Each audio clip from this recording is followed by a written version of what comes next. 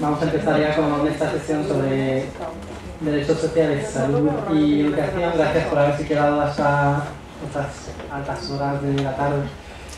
Mm, bueno, tenemos un poquito de retraso.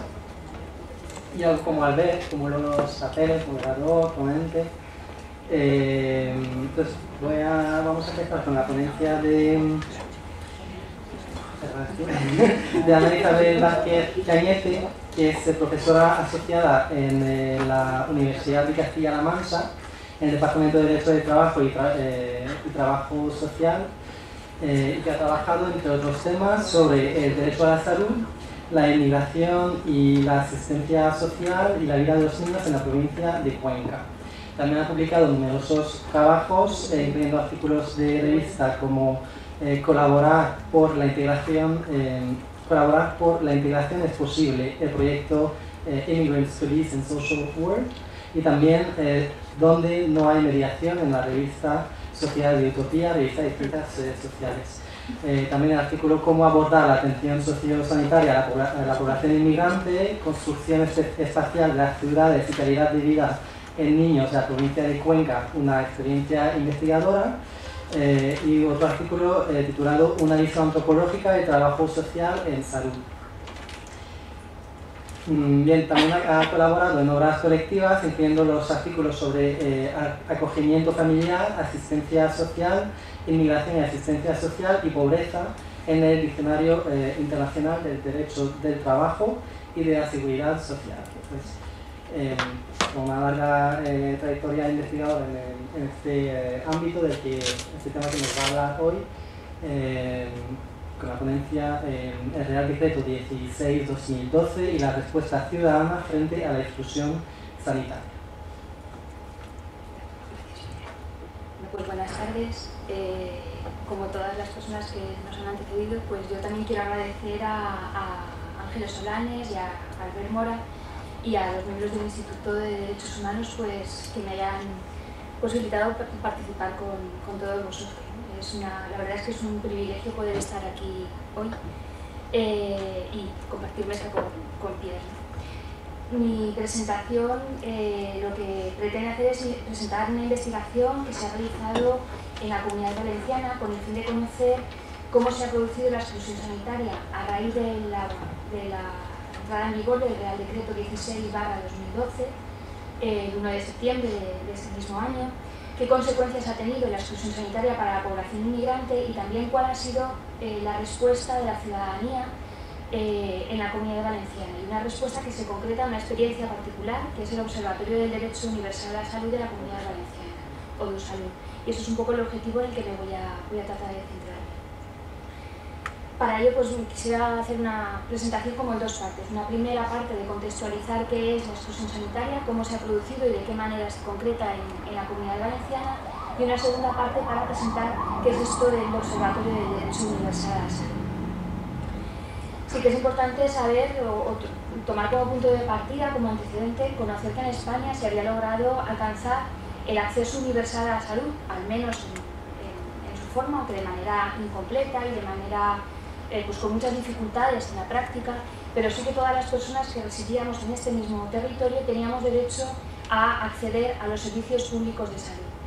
Eh, eso era posible, por un lado, por una amplia legislación en materia de salud, por también una amplia expansión del sistema, eh, sistema nacional sanitario y también porque el acceso era gratuito, la asistencia sanitaria gratuita en el acceso y, estaba, y está financiada a través de los, eh, los impuestos eh, de todas las personas, tanto impuestos directos como impuestos indirectos. Bueno, pues en este, en este marco, el 9 de septiembre del año 2012 entra en vigor la exclusión sanitaria que es, eh, forma parte del Real Decreto 16-2012 de medidas urgentes para garantizar la sostenibilidad del Sistema Nacional de Salud y mejorar la calidad y la seguridad de sus prestaciones. Eh, la justificación de este Real Decreto es una justificación económica, aparentemente, y lleva incluida la medida de la exclusión sanitaria para la población inmigrante que se encuentra en situación administrativa irregular en España. Eh, uno de los principales elementos de este, de este Real Decreto es que transforma el derecho de asistencia sanitaria de pasar de todos los ciudadanos tenemos derecho a, eh, a estar vinculado a la condición de asegurar, de persona que cotiza la seguridad social y por tanto es eh, beneficiario de ese, puede acceder a esas prestaciones sanitarias. Como consecuencia, la población inmigrante en situación administrativa irregular queda excluida, pero también quedan excluidas otra serie de colectivos, otra serie de personas que cumplen determinadas características y que no pueden acceder a la condición de asegurados, como pueden ser eh, los ascendientes de personas que están en situación regular en España, que han venido por reagrupación familiar pero no pueden acceder a la asistencia sanitaria, como es el caso también de determinados ciudadanos europeos, como es el caso de los romanos, a los que se les exige una serie de documentos para acreditar su derecho a la asistencia sanitaria. Es decir, que de una moralidad en la que todos los ciudadanos tienen derecho a la asistencia sanitaria, se genera una casuística muy extensa para poder acceder a, esa, a esas prestaciones. Eh, en el contexto del que estamos hablando ahora mismo, que, eh, hablamos de fronteras, pues esa exclusión sanitaria es una forma de introducir al interior del contexto ciudadano las fronteras flexibles, porque establece la diferencia entre quién tiene derecho y quién no tiene derecho, quién es ciudadano y quién no es ciudadano, aunque todos estemos compartiendo un mismo contexto, incluso aunque todos estemos pagando los mismos eh, impuestos por nuestra compra, el IVA, etcétera, etcétera, etcétera. Unos tienen derecho y otros no tienen derecho. A la hora de saber de quién estamos hablando, un poco eh, cuantificar cuál es la medida que, o cuántas personas quedan afectadas, eh, es muy difícil conocer quiénes están en situación, el número de personas que están en situación administrativa irregular. Porque primero la irregularidad implica que son población, es una población que aparece invisibilizada, eh, que está irregular, no quiere que se sepa dónde están, y al mismo tiempo porque las distintas fuentes estadísticas, cada una contempla a la población y define a la población de una manera diferente. Por lo tanto, es muy difícil establecer o afirmar categóricamente quiénes están en situación administrativa irregular. Todas las fuentes hablan de estimaciones y como ha dicho Albert hace un rato, eh, en Valencia también se ha hecho una estimación en el marco de los estudios y en la comunidad valenciana estaríamos hablando en el año 2016 de algo más de 49.000 personas. Para saber quiénes han estado excluidos, pues tampoco existen a nivel nacional fuentes fiables, ¿no? o, un estudio fiable que nos diga el número de personas que han quedado excluidas de la asistencia sanitaria. El único dato oficial que ha proporcionado el Gobierno de España es eh, el número de 873.000 tarjetas sanitarias de no residentes que se retiraron en el año 2012. Sin embargo, no dice que esto sea fruto de la aplicación del Real Decreto Ley, sino como una medida de lucha contra el fraude. Es así como se presenta esta retirada de tarjetas. Por lo tanto, se incide en una cosa que ya se ha contemplado, que ya se ha mostrado aquí. La población inmigrante aparece como una, población fraudulenta que incumple con las normas de, de ciudadanía y por lo tanto es justo, ético y moral, se establece una frontera moral, como decía María José antes, que se le retire la tarjeta sanitaria, sin hacer referencia a que hasta la entrada en vigor de este Real Decreto eso era perfectamente legal, esa asistencia sanitaria. Sí que existe un dato oficial, o podemos hablar de un dato oficial porque se, se ha tenido acceso a él, a través del Servicio de Aseguramiento de la Consellería de Sanidad Universal y Salud Pública de la Comunidad Valenciana, que eh, el, cómputo de las tarjetas sanitarias retiradas en la Comunidad Valenciana en septiembre del 2012 es de 127.420 tarjetas sanitarias. Esto correspondería aproximadamente al 2,7% del total de tarjetas SI de personas que en ese momento se encontraban en la Comunidad Valenciana, el 2,7%. Sin embargo, si hacemos un análisis de estos datos, Resulta que de esas 127.420, aproximadamente el 35% de esas tarjetas corresponderían a personas que han trabajado en algún momento formalmente y eh, de manera regular en España, porque sus tarjetas corresponden a la seguridad social en activo y a tarjetas sanitarias pensionistas, de personas pensionistas. Por lo tanto, han estado en situación regular y han cotizado a la seguridad social. ¿Qué significa? Que en el momento en el que se han cruzado los datos a la hora de entrar en vigor el Real Decreto Ley, estas personas se encontraban en una situación administrativa irregular sobrevenida. Se han encontrado, por efecto de la crisis, las elevadas tasas de paro, etcétera, etcétera, en una situación irregular. Es decir, se ha retirado la asistencia sanitaria a personas que sí que habían cotizado en, en el país. A raíz de la entrada en vigor de esta norma, eh, se han quedado contempladas distintas situaciones específicas y especiales en las que las personas podían tener acceso a la asistencia sanitaria.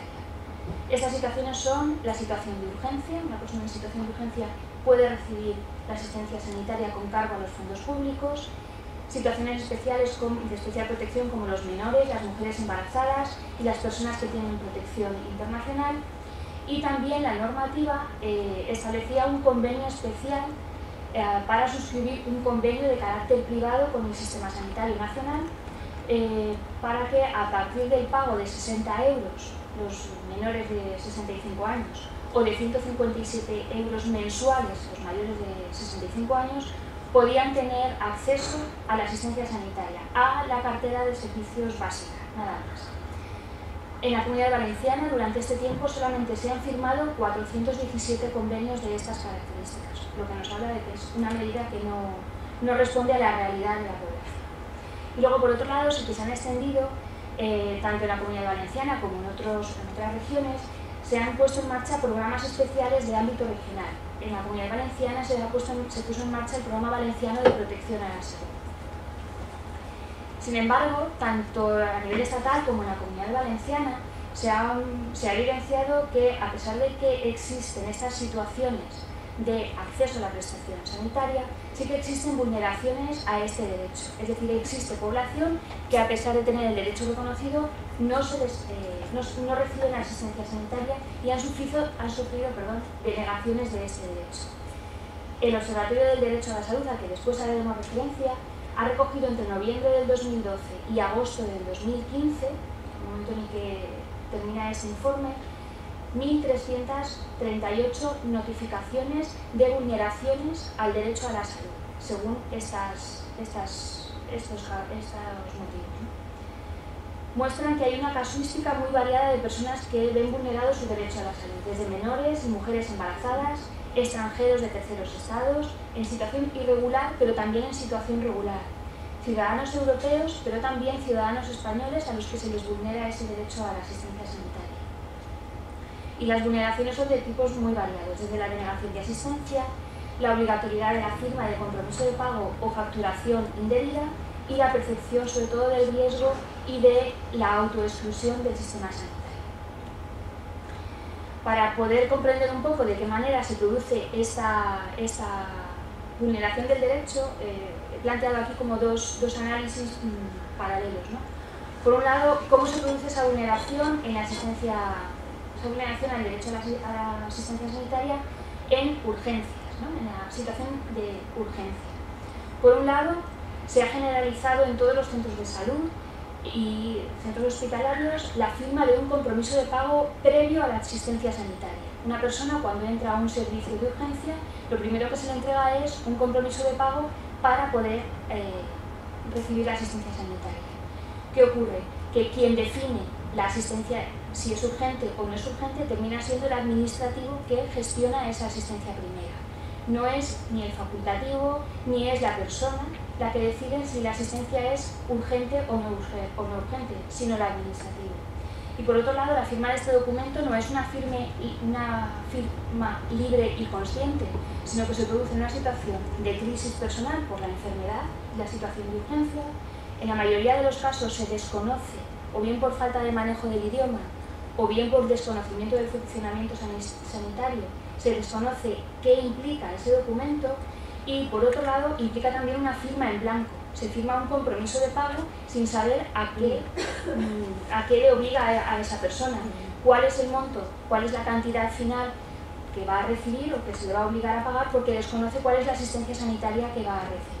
Por lo tanto, es la firma de un documento en blanco. Por otro lado, se han recibido una elevada cantidad de facturación por la asistencia sanitaria. De hecho, el el diario oficial de la Comunidad Valenciana, eh, el día 5 de febrero del 2014 se publicaron un listado bastante elevado de notificaciones por falta de pago a población inmigrante que, no había, que había recibido la asistencia sanitaria y se encontraba en deuda con la hacienda pública. Aparte de las dificultades de poder pagar una asistencia sanitaria y poder hacer frente a esta factura, se ha generalizado el miedo a la facturación sanitaria, porque se considera y existe la percepción del riesgo de que si se tiene una deuda con la hacienda pública, posiblemente eso pueda afectar en la futura regularización administrativa. Por lo tanto, la población tiene miedo ante esa factura. Y luego, la asistencia en, urgencias eh, plantea un límite importante, y es que, eh, a pesar de que el Real Decreto dice que la asistencia sanitaria en urgencia ha de contemplarse hasta la situación de alta médica, no es fácil delimitar qué se considera como alta médica. La alta médica es la que se produce en el box al terminar la asistencia inmediata en urgencias o la asistencia sanitaria es hasta que se recupera la situación de salud. Pues lo que está ocurriendo es que la, el alta médica es cuando se finaliza el alta en el box que ocurre que población que tiene enfermedades graves, situación de cáncer, es eh, remitida directamente a centros privados, si es que se puede pagar, o en el caso de que, queda, eh, que quede ingresada en los centros hospitalarios, esa asistencia en el hospital es facturada y cobrada a estas personas. Y por otro lado se ha producido un bloqueo en el sistema informático. Tenemos un sistema informático que nos invade por todas partes y también es el responsable de la gestión sanitaria en todos los sentidos. Eh, la persona que no tiene SIP, no tiene un número de identificación en el sistema de información poblacional, no puede recibir ningún tipo de asistencia sanitaria porque el sistema informático se bloquea. No puede realizarse unos laboratorios, no puede hacerse una radiografía, por lo tanto, más allá de la asistencia inmediata en, urgencias, no se puede hacer ningún tipo de, asistencia sanitaria. Esto en cuanto a la asistencia en urgencias.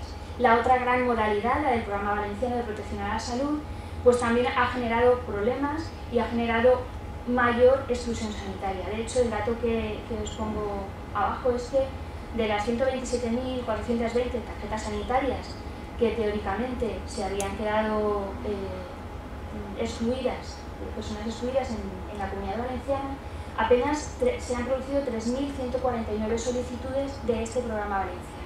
Por lo tanto, también muestra pues, que existe una carencia importante. ¿Cuáles son los problemas de este programa? Pues por un lado, las personas a las que hemos entrevistado lo señalan como eh, que la principal, el principal problema es que está diseñado como un programa. Por lo tanto, si es un programa como puede ser el programa de atención al niño sano o el programa de prevención de cualquier otro tipo de enfermedad, está condicionado a la voluntad de la autoridad sanitaria en ese momento y por lo tanto no garantiza el derecho a la protección a la salud. Por otro lado, no ha existido ningún tipo de difusión ni de formación en relación a este programa. Eh, de hecho, en el año 2014 hubo un debate político en el que participó el secretario autonómico de, Sanidad en ese momento, el señor Luis Ibáñez, y uno de los planteamientos que se le hacía era la falta de difusión de este, de este programa. Él contestó en tono bastante irónico eh, que si el problema era simplemente de carteles, pues que todos los problemas que tuviera fueran, fueran esos. Bueno, desde entonces, en el año 2014, todavía no, ha existido en ningún momento ningún cartel que informe sobre la existencia de este programa.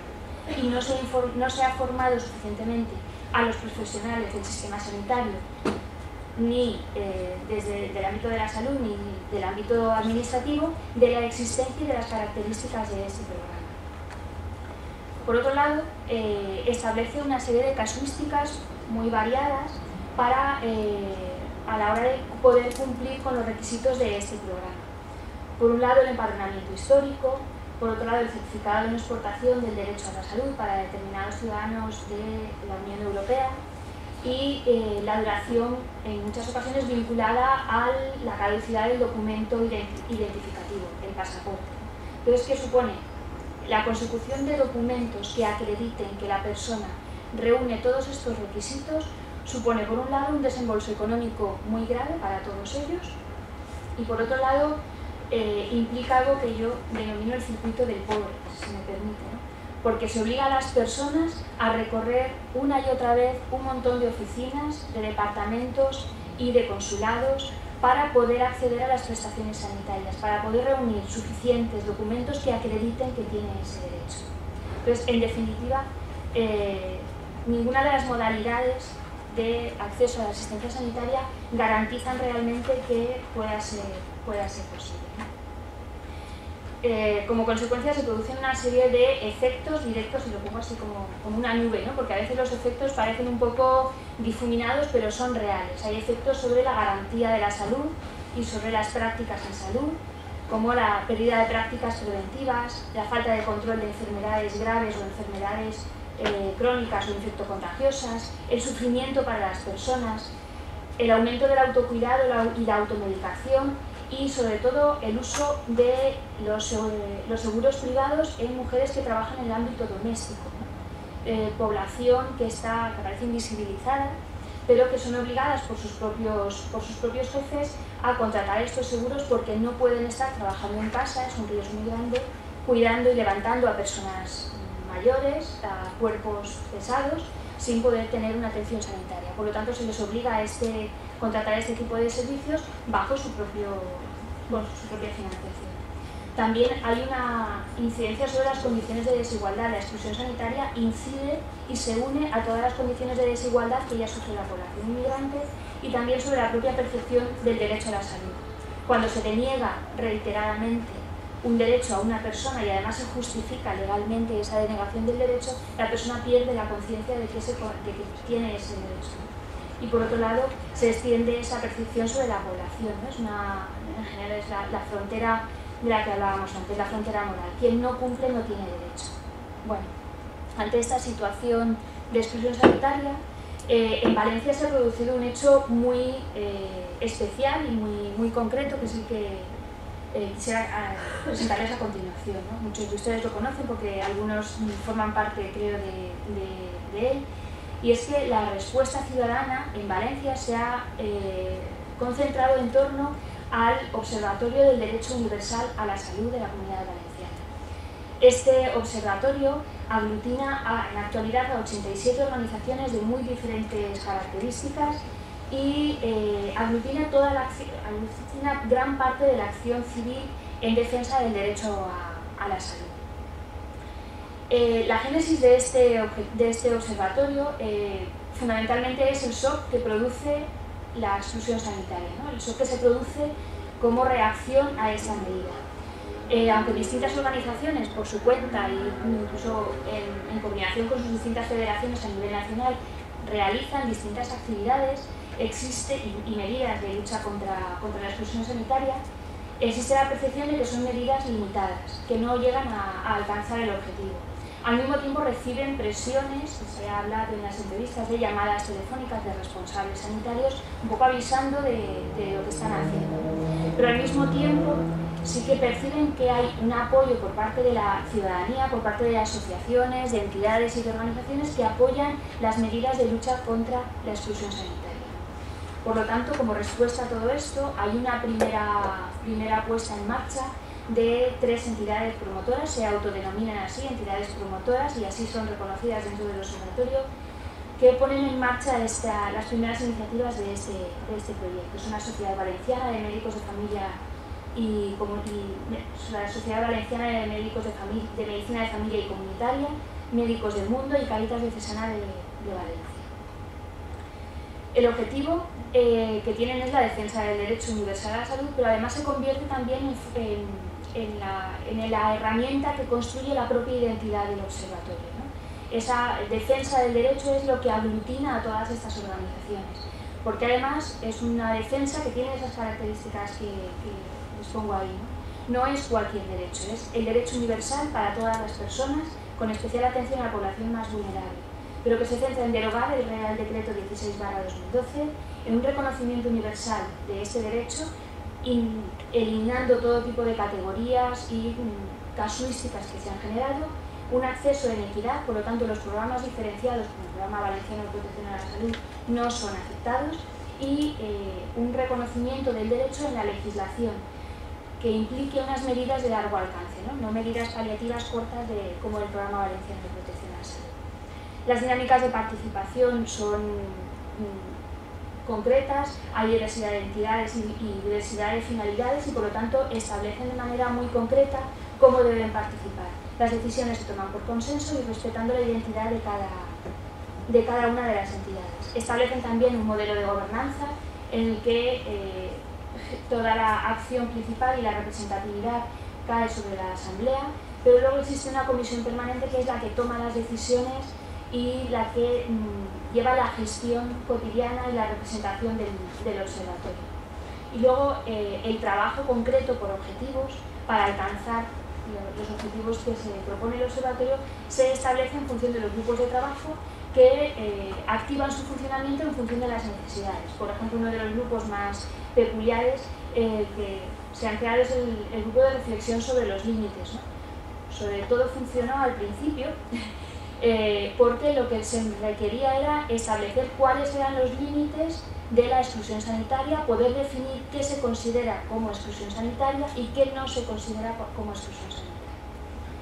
Pues estos grupos eh, van funcionando eh, determinados un poco por los objetivos y la realidad dinámica que va, que va surgiendo. Una vez ya les he explicado así rápidamente el funcionamiento del observatorio, lo más fundamental es cuál es la acción que desarrolla Odusalo. Eh, eh, yo he estructurado, considero bien el análisis, que se estructura en, en, torno a tres grandes acciones. Por un lado, un diagnóstico de la realidad, por otro lado, la incidencia política y por otro lado, estrategias de apoyo concretas a la población excluida. Eh, como diagnóstico de la realidad realiza dos acciones. Por un lado, un registro de todas las incidencias de vulneraciones del derecho a la salud. A partir de un instrumento concreto que, diseña el propio observatorio, que es el registro de, incidencias, eh, el registro de todas las vulneraciones que existen se convierte en algo accesible para todas aquellas personas que quieran participar en este registro, garantiza el anonimato de los casos y tiene un carácter descriptivo, no sistemático. ¿De acuerdo? ¿Por qué? Pues porque las entidades no tienen la capacidad para poder hacer una recogida sistemática de todas las vulneraciones, sino que solamente tienen acceso a aquellos casos cercanos a las, a las entidades y a las organizaciones. Entonces, por eso es descriptivo y no, no tiene un carácter sistemático. Sin embargo, si permite recoger las evidencias de la exclusión sanitaria, si permite garantizar que esos datos que se han recogido son ciertos, son fiables y al mismo tiempo permite eh, garantizar la confidencialidad y la protección de las personas que están denunciando su situación. Esta metodología es compartida por todas las entidades y eh, refuerza esa misma, esa misma identidad. Los datos que son recogidos se vuelcan en informes periódicos de carácter agregado, ¿de acuerdo? Han elaborado 11 eh, informes centrados sobre la aplicación del Real Decreto, Ley y sobre el Programa Valenciano de Protección a la Salud y un informe eh, que recoge la, nueva, la aplicación de la nueva normativa que hay en la comunidad, en la comunidad valenciana. Estos informes otorgan visibilidad y al mismo tiempo permiten establecer el diagnóstico y cuáles son las dimensiones de, esta exclusión. Dentro de las acciones de incidencia política, que es uno de los elementos más importantes del observatorio, porque suponen una movilización para el cambio y al mismo tiempo una recuperación de los espacios de la ciudadanía. Eh, realizan como dos grandes niveles de, incidencia. Por un lado, con los representantes y los responsables políticos y por otro lado, con la sociedad. Con los responsables políticos inicialmente se busca espacios de interlocución, aunque finalmente eh, se van deteriorando y, se, abandonan, pero sí que se mantiene de manera constante eh, el impulso por mantener la lucha contra la exclusión y la defensa del derecho universal a la salud en la agenda, en la agenda política. Y en, en relación a la sociedad que busca promover un cambio de postura y, lograr una respuesta, una respuesta social en cuatro ámbitos diferentes. Por un lado, dirigido a los propios profesionales de la salud, por otro lado, dirigido a la población excluida, a las entidades sociales y a la sociedad en general. Y finalmente, eh, finalmente ¿no?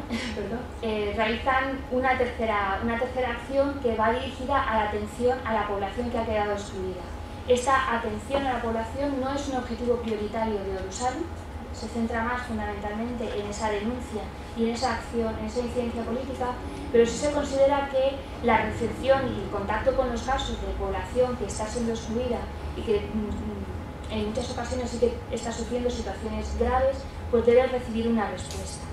Entonces, realizan también una, una respuesta en tres ámbitos diferentes. Por un lado, coordinación y mediación con los responsables sanitarios en aquellos casos en los que la gravedad y la urgencia de, de la enfermedad así lo requieren, ¿de acuerdo?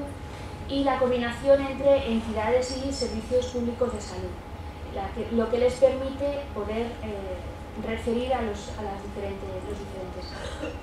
Otra segunda acción dentro de la atención a la población excluida es el acompañamiento a los centros sanitarios, que por un lado se contempla como una forma de proteger a la población que está viendo vulnerados sus derechos, pero al mismo tiempo también se contempla como una forma de acceso y sensibilización a, a los profesionales a los profesionales de salud y en ningún momento sustituye la acción del servicio público, pero sí que permite desculpabilizar y desresponsabilizar a la población, a la población excluida.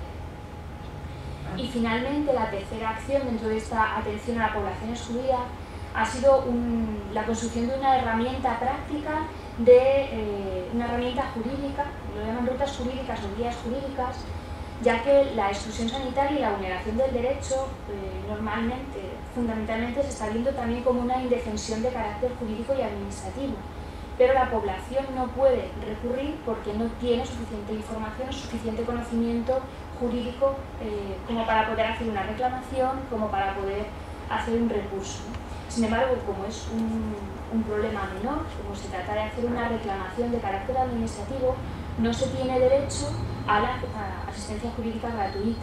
Por lo tanto, se genera una indefensión junto a la exclusión sanitaria, se genera una, una indefensión jurídica. Entonces, la creación de esa herramienta pues, ha posibilitado ofrecer mecanismos concretos a través de la elaboración de modelos de recursos, de alegaciones, modelos de reclamaciones o de quejas en función de las distintas casuísticas que se pueden establecer, pues ha posibilitado que tanto las personas afectadas como las instituciones y organizaciones que les están acompañando puedan tener instrumentos para eh, recurrir la exclusión sanitaria. Y finalmente, a modo de, conclusión, para no alargarme en exceso, pues mm, yo creo que, es eh, el logro que, que, está teniendo el observatorio y que eh, actualmente sigue en vigor, pues es, por un lado, aunar la acción colectiva, ¿no? la, necesidad de distintas organizaciones que tenían de responder frente a la exclusión sanitaria y la defensa de los derechos de los ciudadanos, a través de la identificación y el posicionamiento frente a una realidad que consideran injusta, frente a la exclusión sanitaria. Por un lado, aunan esta acción en la, eh, en la defensa de un nuevo modelo de protección a la salud basado en la universalidad, la equidad y una garantía de estabilidad, y por otro lado vertebra las acciones de, la ciudadanía actuando como eh, herramienta de control frente a las políticas públicas y también como un ámbito de protección a la población que, está siendo viendo vulnerados sus derechos. Y finalmente, yo creo que es una cosa también importante eh, resaltar, eh, el observatorio sí que ha obtenido también logros concretos en el ámbito de la política pública aunque es muy difícil saber hasta qué punto los cambios que han tenido lugar en la comunidad valenciana responden directamente a, la acción de Edusalud, tampoco se puede negar su, influencia. Eh, con los cambios políticos tras las elecciones mm, autonómicas, en la comunidad valenciana se ha puesto en marcha la asistencia sanitaria para toda la población de carácter universal, a partir de la ley 3 barra, del decreto ley perdón, 3 2015, por el que se regula el acceso universal a la asistencia sanitaria. Eh, no cabe duda, o yo creo que no cabe duda, Que, la acción, la incidencia de todas las organizaciones en torno al observatorio tienen algo que ver en, esta, en este reconocimiento. Y de hecho, eh, ahora mismo el observatorio está participando dentro de la Comisión Mixta de la Consellería de Sanidad Universal y Salud Pública para el seguimiento de las políticas de salud. Entonces yo creo que se puede considerar como un logro concreto en la defensa de los derechos y en el ámbito de la política pública del observatorio. muchas gracias.